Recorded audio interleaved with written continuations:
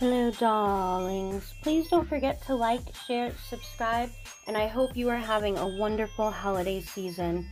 Now for the video. Happy birthday, girl. Um, Denise from Nails by Denise. It's her birthday. Um, I don't really know her very well. She's pretty new to the group.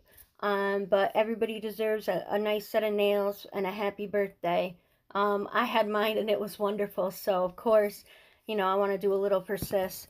Um, her favorite colors are blue and nudes. She likes unicorns and rainbows. Um, so that's what I went with. This is her IG page. She does have a YouTube, but there aren't any videos uploaded yet. I know she's getting ready to do that soon. So, you know, if you could check her out, follow, subscribe, that would be wonderful. Also, there are a bunch of giveaways going on in the Glitter Girls collab. So that video is dropping today as well. So please go over there if you want to know more about giveaway info. Now let's get on with these nails. Okay, for this set, I am using um, this Elite 99 4909. It's that nice turquoise summery macaron color.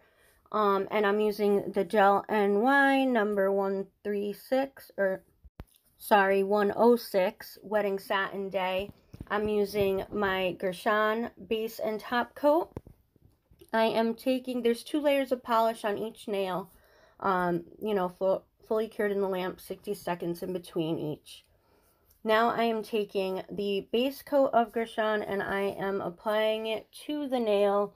Um, it's going to be just a regular even amount to maybe a little bit extra, but it's that's not necessary. Now this glitter mix, it's a blizzard, is from Tammy, from Tammy's Manis. Now it is a very beautiful glitter. She sent it to me in my Christmas card. Um, and there are like snowmen and um, snowflakes and all kinds of little cute stuff in there.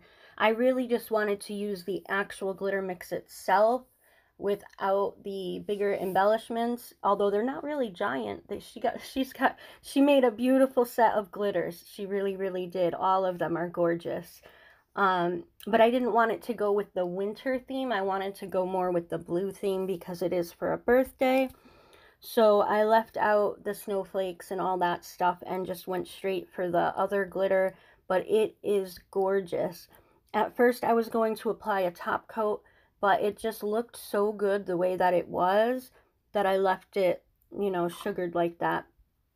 Um, but I love it. I think lost for words, you know, never thought that would happen, right?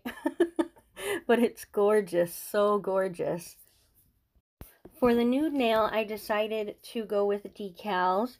Um, I have a cute unicorn, a rainbow, and a star. Um, I am taking off the clear layer off the front, soaking the water decal in the water for 30 to 45 seconds or so. Um, I do put some water on the nail itself. It's not top coated. Um, and I put the decal on. When I do that, it makes it easy to move the decal around in case it gets bunched up or you need to snip it because it's too big and it doesn't fit the nail right, you know, or whatever. I out of frame again? Oh my goodness, I'm so sorry. My last few videos, I, I'm frustrated with myself.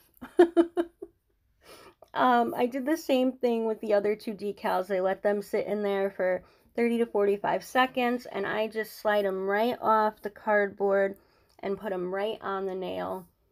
Um, and with these, they filled up the nail completely. They were, it worked out really well. Um, sometimes I find that I take too many decals, there are not enough decals, and there's empty space that I don't like, or whatever. But now I'm just trying to straighten them out and get them flat. And for the last nail, I am going to do a unicorn horn.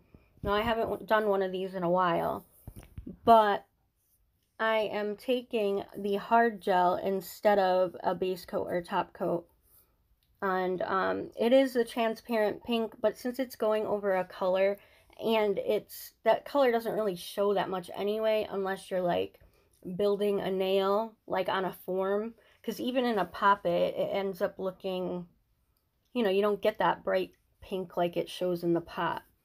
Anyways so I'm taking a like regular liner brush and I twirl the hard gel around it and when I get it up and the whole um, bristle is um, coated then I take it and I slowly drag it across the nail diagonally and depending on the size and the shape of the nail depends on how many ridges that I put.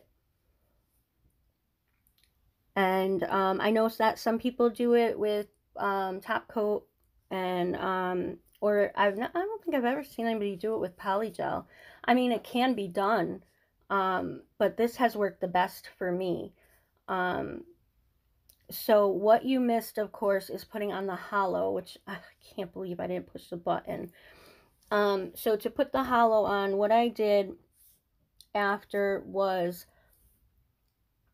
put a top coat on there, put it for 10 seconds into the light, and then applied the holo. Now I'm applying another top coat of the Gershon top coat, but I'm using a separate brush so that any leftover particles will not ruin my top coat bottle. And this is it. Um, happy birthday, girl. I hope you like them. Um, I do have a discount code for the Gel NY. It's BRC Nails 10, all capitals. Please use that. Save some coin. That would be wonderful. Um, and I hope you like these, hun.